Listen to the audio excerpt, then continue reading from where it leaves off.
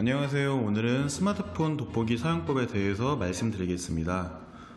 먼저 스마트폰 바탕화면에서 Google Play Store 아이콘을 찾아주세요. 아이콘을 찾으셨으면 손가락으로 살짝 눌러주세요.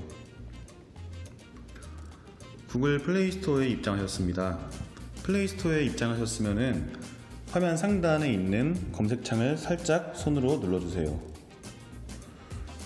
검색창을 누르시면 화면 하단에 자판이 나옵니다.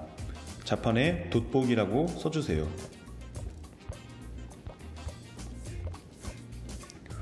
돋보기라고 쓰셨으면 자판 오른쪽 아래에 있는 파란색 돋보기 버튼을 눌러주세요.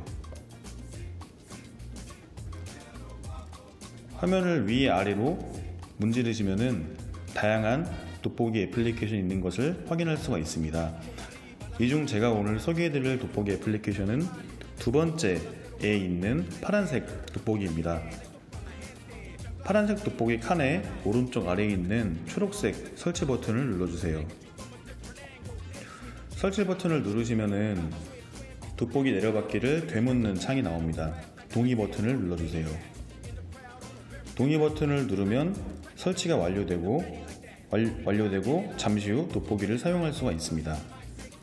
스마트폰의 하단에 있는 홈 버튼을 눌러 Play Store에서 나와주세요.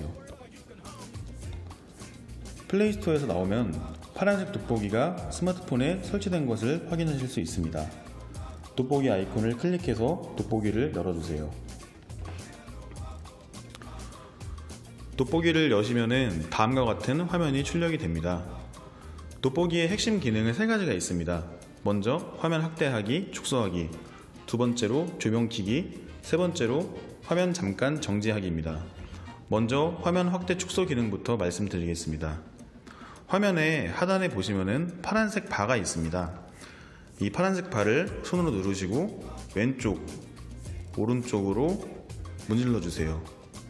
화면이 확대 축소 되는 것을 확인할 수가 있습니다. 두 번째로 조명 기능입니다. 어두운 곳에서 책을 읽으실 때 활용할 수가 있는 기능입니다. 오른쪽을 보시면은 해 모양 아이콘이 있습니다. 이 해 모양 아이콘을 손으로 눌러주세요. 손으로 눌러주시면은 카메라 뒤편 조명 부분이 켜집니다. 다시 해 모양 아이콘을 누르시면은 조명을 끌 수가 있습니다. 마지막으로 화면 정지 기능입니다. 스마트폰을 오래 들고 돋보기로 사용하다 보면은 손이 아플 수가 있습니다.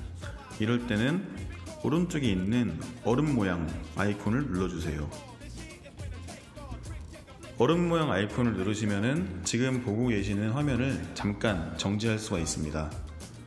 다시 얼음 모양 아이콘을 누르시면 정지를 푸실 수가 있습니다. 다시 얼음 모양 아이콘을 눌러보겠습니다. 이때 얼음 모양 아이콘 위쪽에 보시면 카메라 버튼이 있는데 카메라 버튼을 누르시면 지금 보고 계시는 화면을 스마트폰에 저장할 수가 있습니다. 이상 화면 확대 축소, 조명 기능, 그리고 화면 멈추기 세 가지 기능에 대해서 말씀드렸습니다. 이상 돋보기에 대한 설명을 마치겠습니다.